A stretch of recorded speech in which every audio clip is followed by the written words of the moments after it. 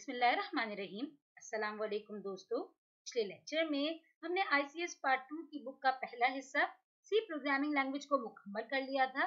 आज के लेक्चर में हम आईसीएस पार्ट टू की बुक के दूसरे हिस्से डेटाबेस मैनेजमेंट सिस्टम और डेटाबेस मैनेजमेंट टेक्निक्स की डिटेल्स आपको फराम करेंगे। इसी जमरे में हम स्टार्ट करेंगे चैप्टर नंबर टेन को, जिसका नाम है डेटा बेसिक्स तो डेयर स्टूडेंट्स अगर हम कंप्यूटर की डेफिनेशन को देखें तो आप जानते हैं कि हम कंप्यूटर की डेफिनेशन बचपन से पढ़ते आए हैं कि computer is an electronic device that takes data as an input process that data and produces information as an output यानी अगर आप कंप्यूटर को, जो कि 19वीं सदी की सबसे बड़ी इजाद है, इस पर गौर करें तो ये चार मेन पार्ट्स पर मुश्तमिल होती है। Input part processing part output part और स्टोरेज पार्ट और डेयर स्टूडेंट्स अगर आप कंप्यूटर की डेफिनेशन पर गौर करें तो ये जो इनपुट पार्ट है, यहाँ पर आप क्या इनपुट देंगे? तो दोस्तों, यहाँ पर आप दरअसल डेटा को इनपुट देंगे। और डेटा क्या है? A data is a collection of raw facts and figure यानी जो डेटा होता है, ये मजमुआ होता है रॉ फैक्ट्स एंड फिगर का।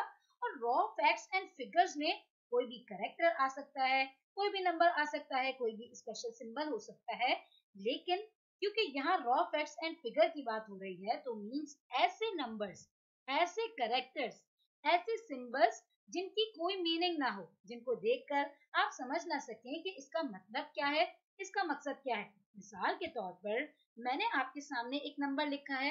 अब अगर आप इसको देखें तो ये सिर्फ़ एक नंबर है, लेकिन आप बता सकते हैं, क्या आप बता सकते हैं कि इस नंबर का मीनिंग क्या है या इसको लिखने का मकसद क्या है? नहीं ना तो इसीलिए हम इसको डाटा कहेंगे, जो कि इस तरह का नंबर है, इस तरह के नंबर्स का मजमुआ है, जिनको देखकर आपको कोई जानकारी हासिल नहीं हो रही तो इट इज़ कॉल्ड डाटा लेकिन दोस्तों, यही डाटा किसी भी ऑर्गेनाइजेशन के लिए बहुत ज़्यादा अहमियत का हामिल होता है। या ये कह लें कि किसी भी ऑर्गेनाइजेशन की तरक्की और जवाल का सबक उसके डाटा पर ही बेस्ड करता है।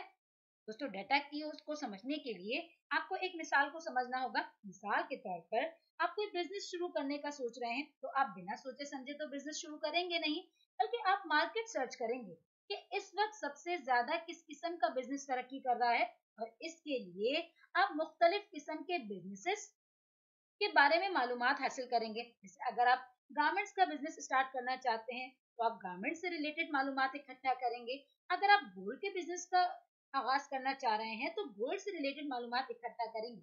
और ये मालूम आप किसी एक इंसान से, एक पर्सन से तो इकट्ठा करेंगे नहीं, बल्कि आप गारमेंट्स के बिज़नेस के लिए, मुख्तलिफ़ गारमेंट्स की कंपनी से मालूम हासिल करेंगे और साथ के साथ जो लोग इस कारोबार से मुंसलिक होंगे, उन लोगों से भी मालूम इकट्ठा करेंगे। और जब तमाम मालूम इकट्ठा हो जाएगी, उसके बाद आप तमाम मालूम को एक जगह राइट डाउन कर लेंगे और उस मालूम में से जो की पॉइंट्स होंगे, उनको एक दूसरी जगह लिख लेंगे। अब आपके पास इंपॉर्टेंट की पॉइंट्स मौजूद हैं। अब आप उन पॉइंट्स की मदद से ये डिसीज़न लेंगे कि कौन सा कारोबार आपके लिए फ़ायदेमंद होगा और कौन सा आपके लिए नुकसान का बायस होगा। और दोस्तों, इस मिसाल में जो हमने मालूम का लफ्ज इस्तेमाल किया है, यही दरअसल कहलाता है डाटा जिस तरह गारमेंट्स के बिज़नेस के लिए आप तमाम डाटा गारमेंट से रिलेटेड कर रहे थे गोल्ड के बिज़नेस के लिए गोल्ड से रिलेटेड तो इससे हमें ये पता लगा कि हर ऑर्गेनाइजेशन हर बिज़नेस का अपना अलग डाटा होता है उस ऑर्गेनाइजेशन के हिसाब से। और वो डाटा आपको कलेक्ट करना पड़ता है, इकट्ठा करना पड़ता है मुख्तलिफ़ ऑर्गेनाइजेशन से, मुख्तलिफ़ लोगों से। और फिर जब तमाम डाटा इकट्ठा हो जाता है तो आप उस डाटा पर प्रोसेसिंग करते हैं ऑपरेशन परफॉर्म करते हैं। और उस ऑपरेशन के परफॉर्म करने पर आपको क्या मिलेगा? इंफॉर्मेशन यहाँ, यानी यहाँ इस मिसाल में आपने बहुत सारा डाटा कलेक्ट तो कर लिया, लेकिन फिर आपने उस डाटा पर जो कि बड़ी तादाद में था, उस पर अलग अलग टेक्निक्स अप्लाई करके उसको कुछ खास की पॉइंट्स में कन्वर्ट कर लिया।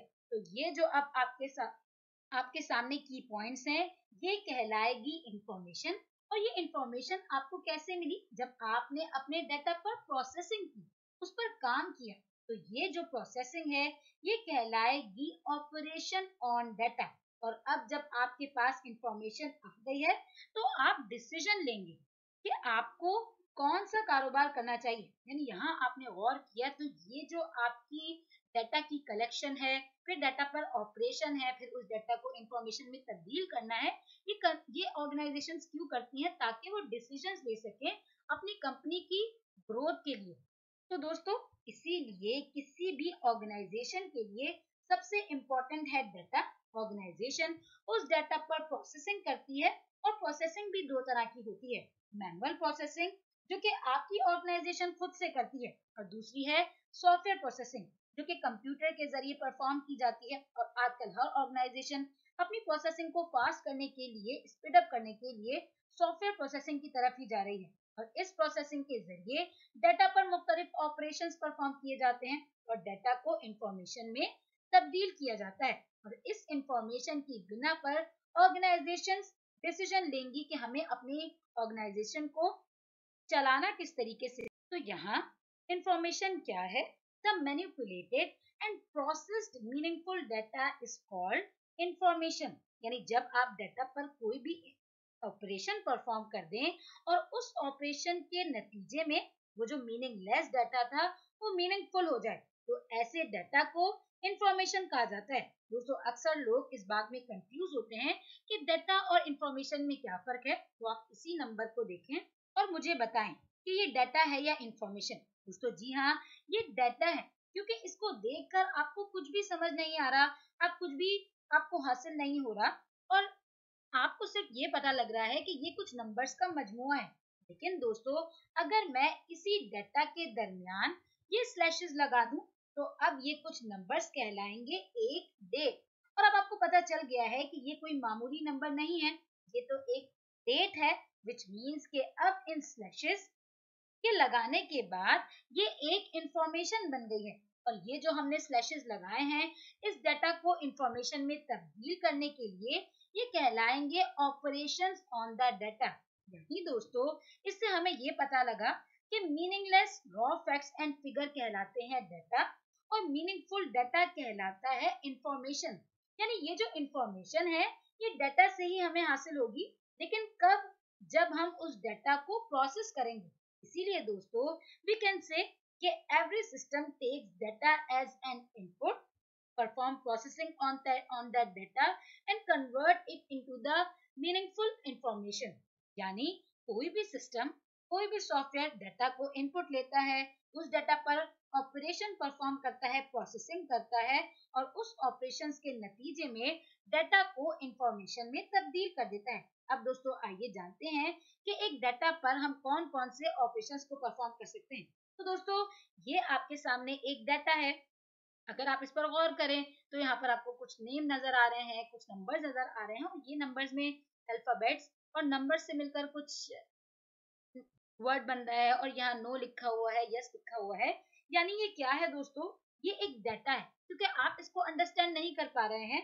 अब अगर मैं इस डाटा पर कुछ ऑपरेशंस परफॉर्म कर दूँ तो ये अब कहलाएगी एक इंफॉर्मेशन यानी स्टूडेंट की एक मार्कशीट आपको नज़र आ रही है, जो कि किसी डाटा से मिलकर बनी है। तो अब ये जो मार्कशीट है, ये क्या है दोस्तों? ये है इंफॉर्मेशन जो कि बनी है इस डाटा से मिलकर। और हम इसको इंफॉर्मेशन क्यों कह रहे हैं? क्योंकि आप इसको अंडरस्टैंड भी कर पा रहे हैं कि ये तमाम है नेम्स ये है रोल नंबर्स ये है इनके मैथ्स फिजिक्स और केमिस्ट्री के नंबर्स उसके बाद हमने इन तमाम नंबर्स पर कैलकुलेशन परफॉर्म करके इनको जीपीए में कन्वर्ट किया है और अब हमने आपको बताया है कि ये बच्चा जो है ये फेल है या फिर पास है। तो दोस्तों, हमने क्या किया? हमने डाटा पर कुछ ऑपरेशंस परफॉर्म किए। पहले इनको अरेंज किया, उसके बाद इन्हें ब्लॉक्स के अंदर डाला, उसके बाद इनके अंदर कुछ कैलकुलेशंस करी, इनको हेडिंग्स दी। तो ये आपके, आपको एक इंफॉर्मेशन की शक्ल में एक मार्कशीट नज़र आ रही है। तो आइए जानते हैं कि इस पर हमने क्या क्या ऑपरेशन परफॉर्म किए हैं। जिससे हमें ये भी पता लग जाएगा कि एक डाटा पर आप क्या क्या ऑपरेशन परफॉर्म कर सकते हैं। तो इनमें जो सबसे पहला ऑपरेशन है, वो है क्लासिफिकेशन। दोस्तों, ये जो नंबर्स थे, इसको क्लासिफाई करके हमने इन्हें नाम दे दिया मार्क्स का। उसके बाद हमने यहाँ पर इनको नाम दे दिया, इनको एक हेडिंग में क्लासिफाई कर दिया कि ये है रोल नंबर्स उसके बाद ये तमाम है मार्क्स ये है तमाम नेम्स और ये हमने बता दिया कि ये पास और फेल के लिए हमने यस और नो के लिए एक हेडिंग डाल दी पास यानी हमने इन तमाम डेटा को अलग अलग ग्रुप्स में डाल दिया, जिसकी वजह से इसको क्लासिफाई करना आसान हो गया। तो ये ऑपरेशन कहलाएगा क्लासिफिकेशन इसके अंदर हम डेटा को अलग अलग ग्रुप्स के अंदर क्लासिफाई कर देते हैं कि ये तमाम नंबर्स किस ग्रुप में आएँगे। इस तरीके से ये क्योंकि नेम्स नज़र आ रहे हैं तो ये नेम के ग्रुप में आ जाएँगे। तो इस तरीके से हम डाटा को क्लासिफाई कर सकते हैं क्लासिफिकेशन के ऑपरेशन के थ्रू इसके बाद है सॉर्टिंग दोस्तों, यहाँ आप गौर करें तो हमने M01 को पहले लिखा है, फिर हमने M02 को लिखा है, उसके बाद M03 को लिखा है। तो देयर फ्रेंड्स हमने ये क्या किया है? हमने दरअसल इस डाटा पर सॉर्टिंग अप्लाई की है। हमने इसको नंबर वाइज सॉर्ट कर दिया है। ये अमल दरअसल कहलाता है सॉर्टिंग के बाद है कैलकुलेशन दोस्तों, यहाँ आप गौर करें तो डाटा में जीपीए नहीं लिखी हुई, लेकिन मार्कशीट में ये जीपीए का आपको एक हेडिंग नज़र आ रही है। जीपीए का फोल्डर आपको नज़र आ रहा है विच मीन्स कि हमने इन मार्क्स पर कोई कैलकुलेशन परफॉर्म की है विच मीन्स कि आप अपने डाटा पर एक कैलकुलेशन का ऑपरेशन भी परफॉर्म कर सकते हैं। इसके बाद है समराइजिंग दोस्तों, ये आपका डाटा हो गया और इस डाटा की बिहाफ पर आपने इसको समराइज भी कर दिया। यानी अगर आप ये डाटा ना भी लिखें और आप सिर्फ़ लिखें रिंशा और ये पास है या फिर तो यहाँ पर दरअसल आपने इस पूरे डाटा की मदद से इसको समराइज किया कि जो ये स्टूडेंट है, ये पास है या फिर। तो दोस्तों समराइज के अंदर क्या होता है कि आप एक बहुत बड़े डाटा को एक कंसिस्टेंट वे में बहुत छोटा कर देते हैं और ये छोटा करना दरअसल कहलाता है समराइजिंग तो ये देखिए masses of data is reduces to more concise and usable form यानी आप अपने डाटा को, जो कि बहुत सी बड़ी तादाद में होता है, उसको आप, उसके ऊपर समराइजिंग का ऑपरेशन परफॉर्म करके उसको एक मीनिंगफुल इंफॉर्मेशन के अंदर तब्दील कर देते हैं। इसके बाद दोस्तों, अब जब आपके पास आउटपुट आ गया है मार्कशीट की शक्ल में तो आपकी ऑर्गेनाइजेशन इस आउटपुट पर दो काम करेगी। पहले तो इसको, इसकी एक कॉपी अपने पास स्टोर कर लेगी और फिर आगे इसको ट्रांसफ़र कर देगी। और चाहे तो इसमें मजीद प्रोसेसिंग भी कर सकती है, यानी जब आपको इंफॉर्मेशन मिल जाती है तो आप उस इंफॉर्मेशन को दो तरह से मैनेज करते हैं। First you have to store the information ताकि आपके पास रिकॉर्ड मौजूद हो, आप उसको फ्यूचर के अंदर यूज़ कर सकें। Second if you want to transfer this information उसमें अगर आपको मजीद प्रोसेसिंग करनी है इंफॉर्मेशन को ट्रांसफ़र करने के बाद तो आप वो भी कर सकते हैं। और ये अमल कहलाता है रिप्रोडक्शन जिसके अंदर आप अपनी इंफॉर्मेशन पर मजीद प्रोसेसिंग करके उसको और ज़्यादा इंफॉर्मेटिव बना सकते हैं। तो डेयर फ्रेंड्स यहाँ पर हमारे लेक्चर का अख्ताम हुआ, जिसमें हमने सीखा कि डाटा क्या होता है इंफॉर्मेशन क्या होती है, और डाटा पर आप ऑपरेशंस कौन कौन से परफॉर्म करवा सकते हैं। अगले लेक्चर में हम स्टार्ट करेंगे एक नया टॉपिक जिसका नाम है फ़ाइल फ़ाइल टाइप्स तक के लिए अल्लाह हाफिज।